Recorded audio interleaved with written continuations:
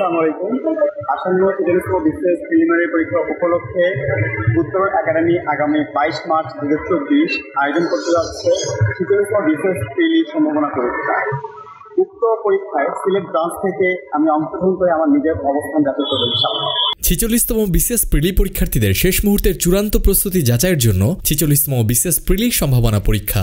দেশব্যাপী উদ্ভাসন মিশের সকল শাখায় ফিজিক্যালি পরীক্ষা অনুষ্ঠিত হবে আগামী বাইশে মার্চ দু হাজার চব্বিশ সকাল দশটায়। মেধা তালিকায় সেরা পাঁচশো জনের জন্য থাকছে তিন লক্ষ টাকার নগদ মেধাবৃত্তি।